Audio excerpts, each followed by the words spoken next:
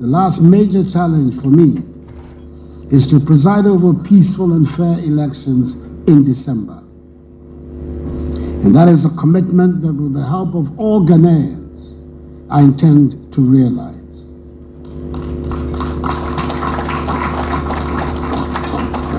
The people of Ghana deserve no less than to be given the, the best atmosphere in which to choose freely their next president and parliament. I intend to show, ensure that our reputation as a beacon of democracy and stability in Africa and the world is maintained.